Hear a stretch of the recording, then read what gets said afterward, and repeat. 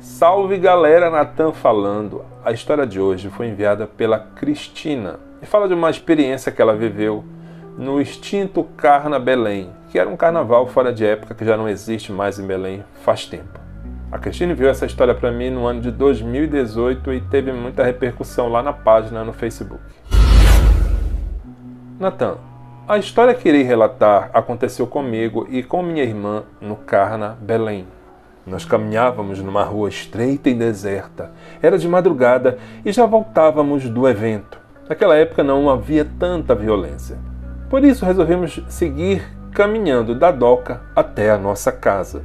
Lembro que assim que viramos a esquina de uma rua, um rapaz apareceu de repente, não sei de onde. Ele atravessou a rua e esbarrou em mim. Era um rapaz muito bonito e isso chamou a nossa atenção. Lembro bem que ele estava descalço e vestia bermuda jeans e camiseta azul clara. Eu e minha irmã nos cutucamos, comentando sobre a beleza do rapaz. Durante cerca de um quarteirão, nós caminhamos ao lado dele. Ele andava meio desnorteado, cambaleando. Isso nos fez acreditar que ele estava bêbado. Em um certo momento, ele acelerou os passos e passou da gente, dobrando uma esquina para onde também nós estávamos indo. Como a rua estava deserta, conseguíamos ouvir o som do trio elétrico lá na doca, com suas músicas baianas. Ao mesmo tempo em que ouvíamos as vozes, murmúrios e lamentações que vinham da rua para onde nós estávamos indo e para onde o rapaz havia se dirigido.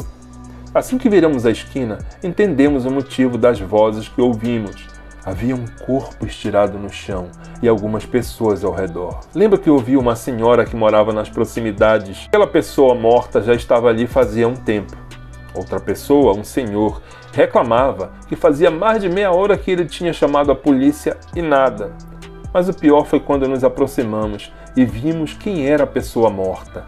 O mesmo rapaz bonito com o qual havíamos caminhado lado a lado por quase um quarteirão.